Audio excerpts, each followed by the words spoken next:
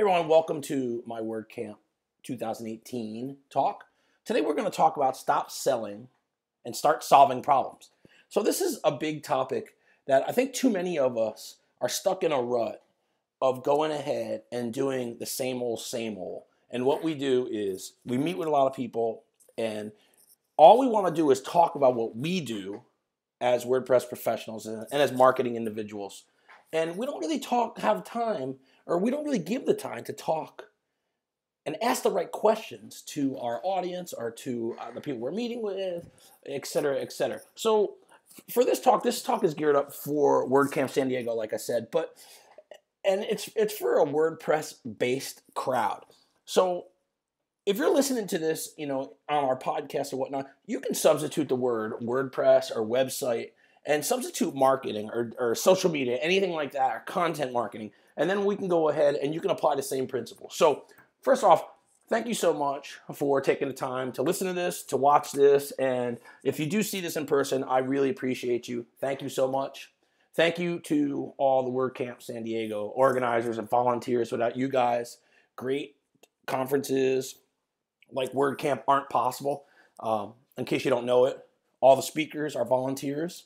Uh, we donate our time. Uh, sometimes it costs money, and sometimes people travel from great distances to speak at marquee camps. And definitely the countless hours that the organizers and volunteers put in to put this on because of the love of WordPress.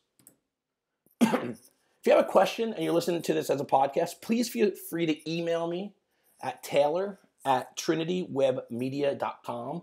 And hopefully, you know, there's going to be tons of questions that I field in the audience so that we can go ahead and I can append this presentation so that we can, you know, answer some of those questions because uh, you know, Word WordPress WordCamp audiences are some of the greatest conference attendees to speak to because they really are interested and they're really passionate and they really challenge me as a speaker to a know my stuff and b give them the answers that they paid good money to to to learn and to understand. So, who am I?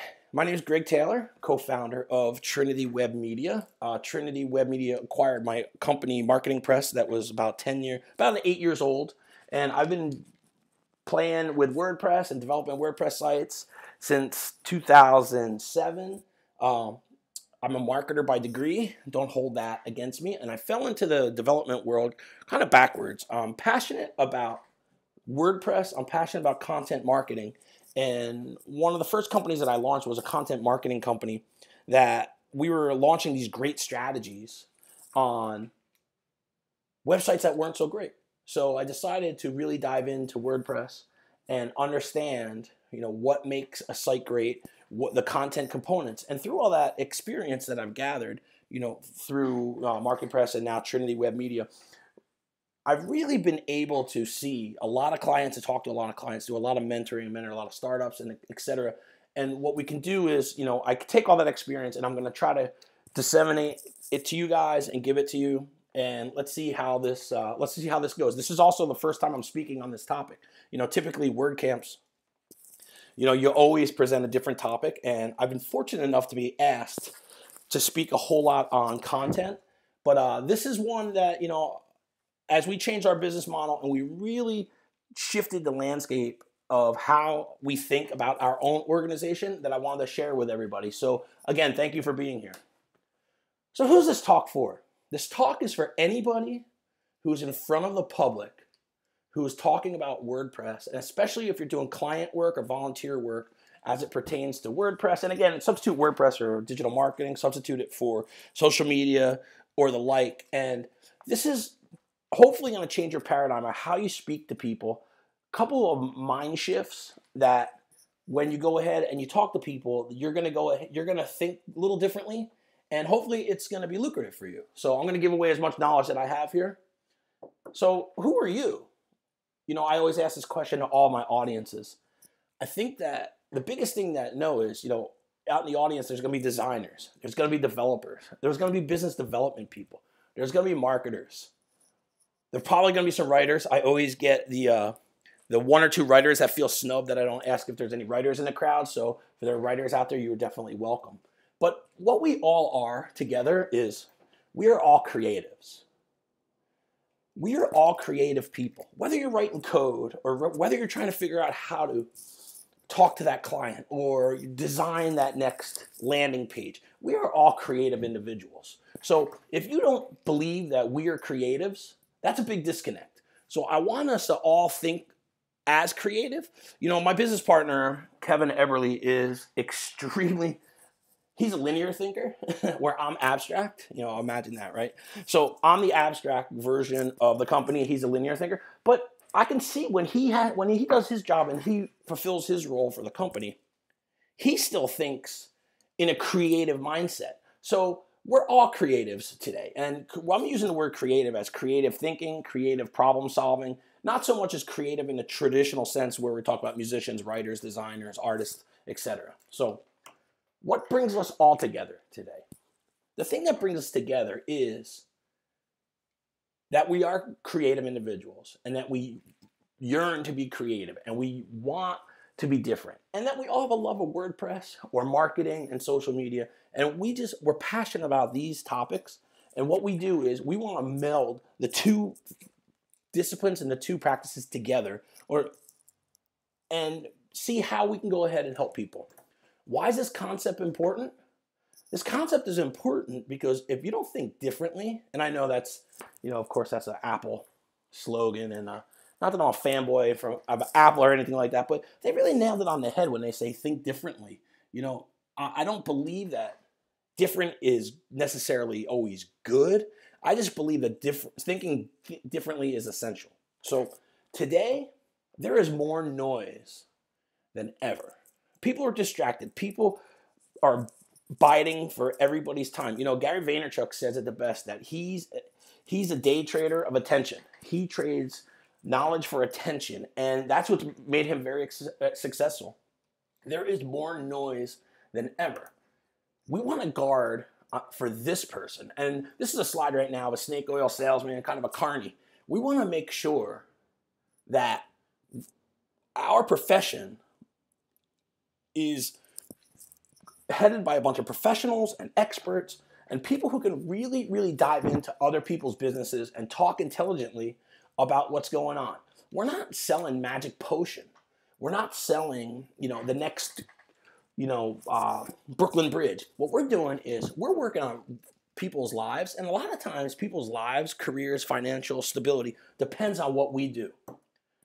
People are skeptical of what they do not understand people, if they do not understand what you're saying, where you're going with things, and how you're running things and how you're talking to them, they will be skeptical.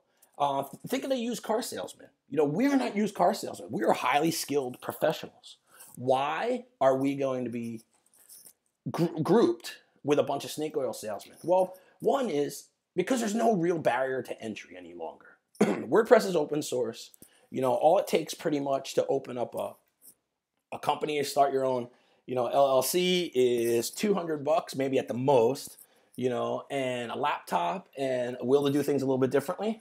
I started my company with $400 to my name, a laptop, and a will to do things differently after being fired from a bunch of agencies because I was thinking differently. Probably a little bit too different, but that was how things go. So let's quickly let's play the match game here. And I want you to think of these things as I'm going through. What are the goals of websites?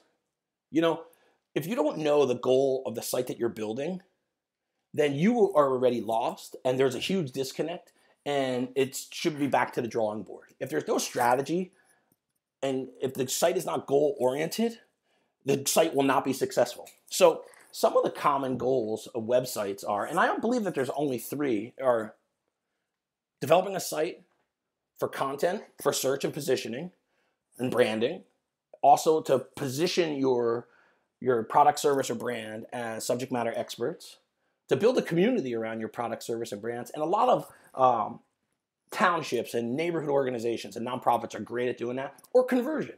You know, conversion is defined as, you know, the way that I'm using it is getting a user to do things the way that you want them to do and having them act with an intended behavior.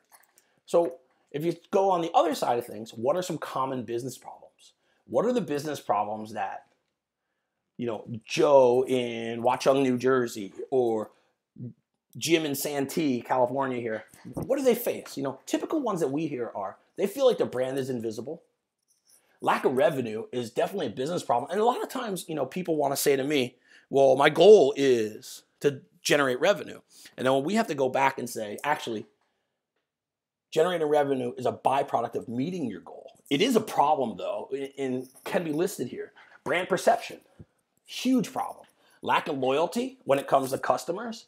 Inferior XYZ, inferior product, inferior business model, inferior uh, uh, policies, anything like that, and an experience. So, out of these six, and there are six, yes, out of these six, I believe that we can solve four of them.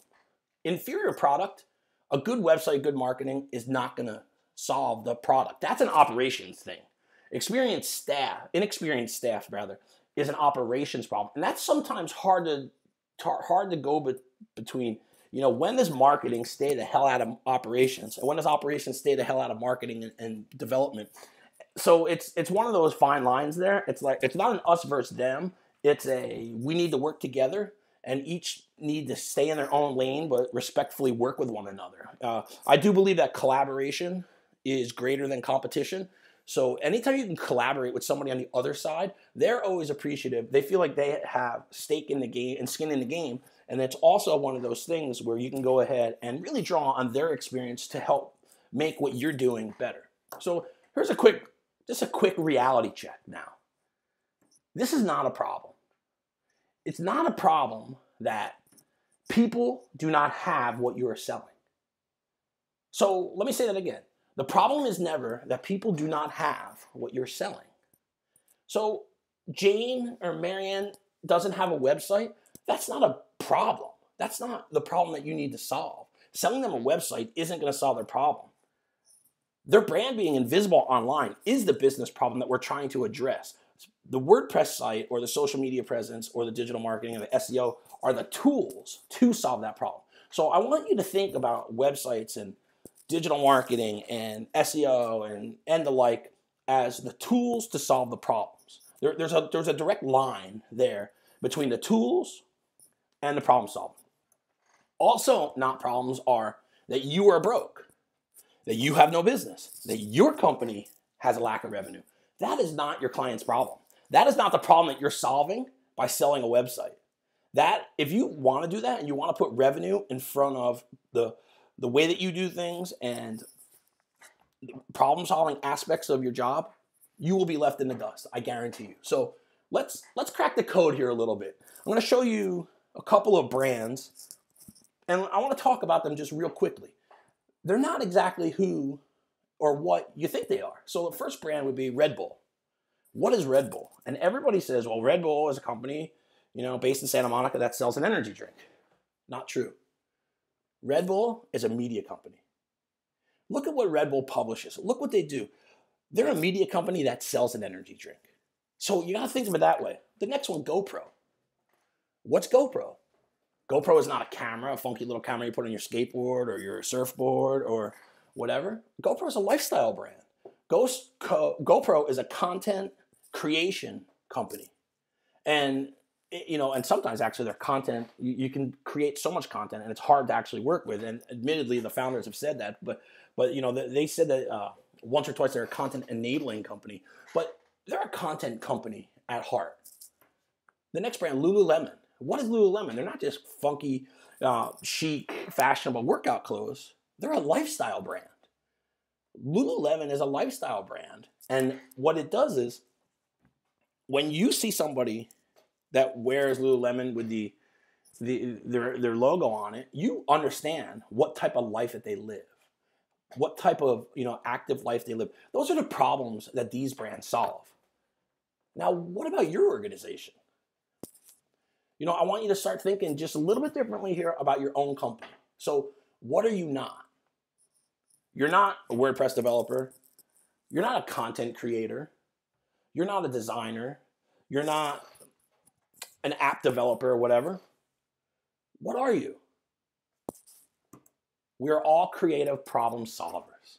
So Trinity Web Media, you know, went through a whole went through a whole you know, evolution where you know we were the leader in WordPress development in the Northeast, and we're the leader of social media management. We're the leader in content creation. Well, no, we are the leader in problem solving.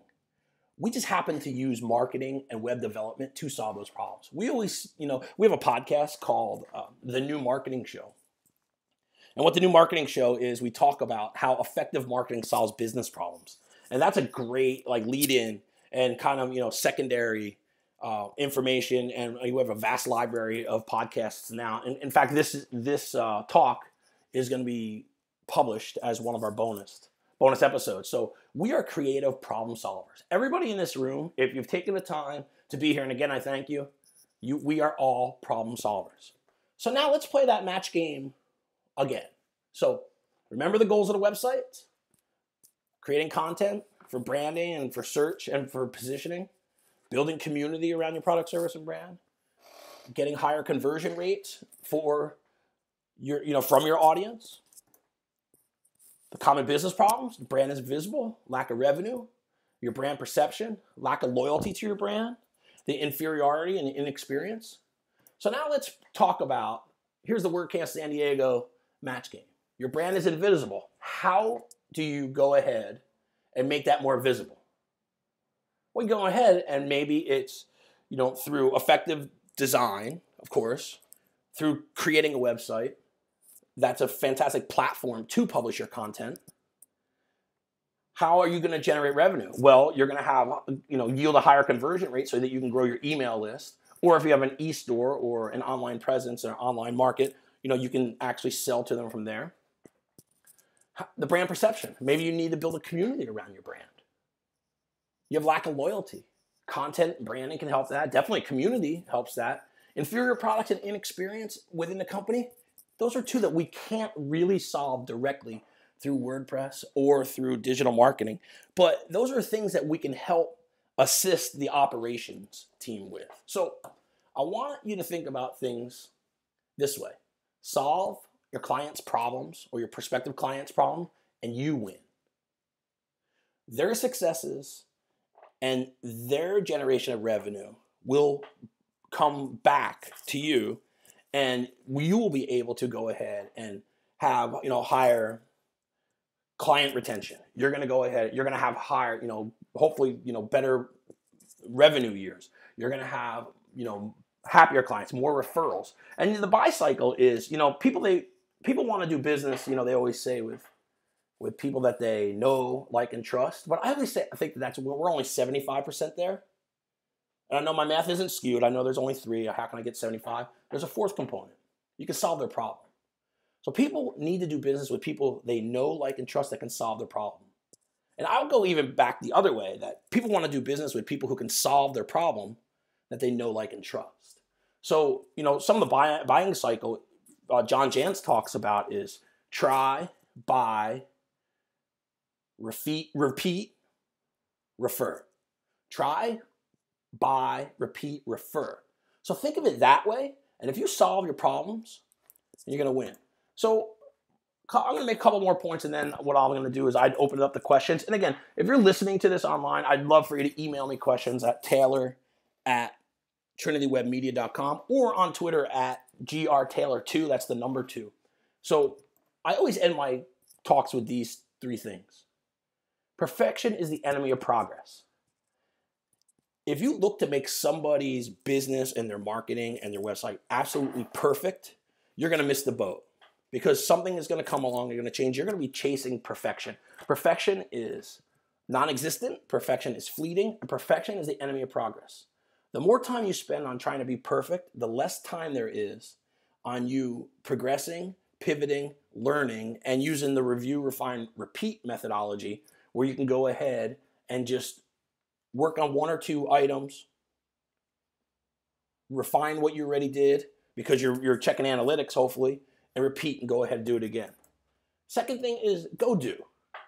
Go and try this. Go do. Go do something. Go do something in a positive go direction. Go try and do something differently. I'm doing something differently by actually, you know, giving this talk instead of something that I had canned, you know, about content that I've that I I don't know I gave him WordCamp Las Vegas 2010 or whatnot. So go do.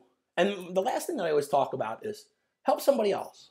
If you see your fellow word presser, I don't know if that's a term, word presser, word pressian, I don't, I don't know what, what we call each other. We're, go help them if they're struggling. You see somebody who's struggling, you see somebody who's asking questions. You know, the WordPress community gives us amazing opportunities to go ahead and help one another through meetup groups, through WordCamps, through social media, Twitter. You know, there's Facebook groups. Uh, there's tons of different ways. Help somebody else share your knowledge, and I think that you'll be better for it. So thank you so much. I really appreciate everybody being here. I especially appreciate if you listen to this online. Uh, again, any questions, please let me know. Uh, again, I'm Greg Taylor from Trinity Web Media, and it's been an honor to speak with you guys. Thanks.